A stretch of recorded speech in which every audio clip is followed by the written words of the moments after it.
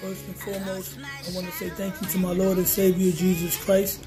If it wasn't for him, this wouldn't be possible. Lo Knows Boxing. Hit the like button, share the video, leave a comment, subscribe. Shout out to Punch Drunk Boxing, who had an interview last night with Ryan Garcia's father. And it was stated that Ryan Garcia is in contact with Devin Haney's team for a potential fight. Basically, they're already negotiating. And you know how I feel about the 140 pound weight class. The junior welterweight division right now is the glamour division in boxing.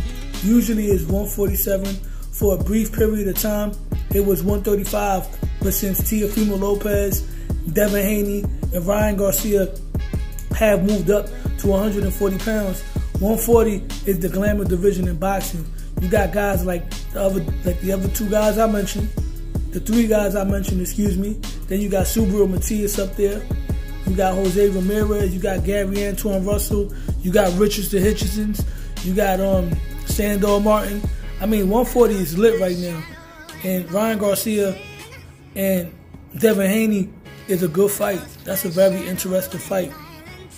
It's also a barometer fight because in boxing, whenever you want to build up a big, big fight, it's very key to have a barometer fight, a common opponent with your rival, with your nemesis, like Manny Pacquiao and Floyd Mayweather did. They had they had rivals. They, they were a rival, and they had common opponents. Oscar De La Hoya and Felix Trinidad had common opponents, right? So now Devin Haney and Gervonta Davis already have one common opponent in Yuriorkis Gamboa. And now Ryan Garcia would be another common opponent. And what makes this fight intriguing is the fact that even though Ryan Garcia is not really looked at by the boxing media as a fighter on the level of a Devin Haney, me included, but Ryan Garcia knows Devin Haney very well. They have a history. They fought six times in the amateurs, and they went three and three in the amateurs. So this is a very interesting fight. I'm intrigued to see how it's going to turn out.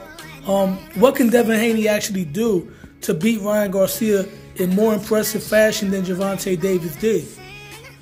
Gervonta Davis knocked him out in the seventh round, but he did get touched up in round five. Ryan Garcia was starting to do some good work, landed some good right hands. So if Devin Haney were to like literally outbox him, outclass him, and probably not get hit hardly at all, then it would definitely probably be, not definitely, but it would be more impressive than Gervonta Davis.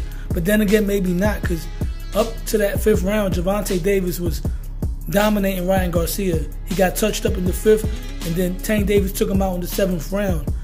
But um, Ryan Garcia, Devin Haney, that's an interesting fight. Sign me up. It'll probably go down maybe in May. It would make more sense for that fight to go down sometime in May which is a Mexican holiday, and Ryan Garcia is a Mexican American. 2024 is looking like it's going to be a very good year for boxing. So, with that being said, hit the like button, share the video, subscribe to my channel, Lo Knows Boxing, because Lo Knows Boxing, I'm out.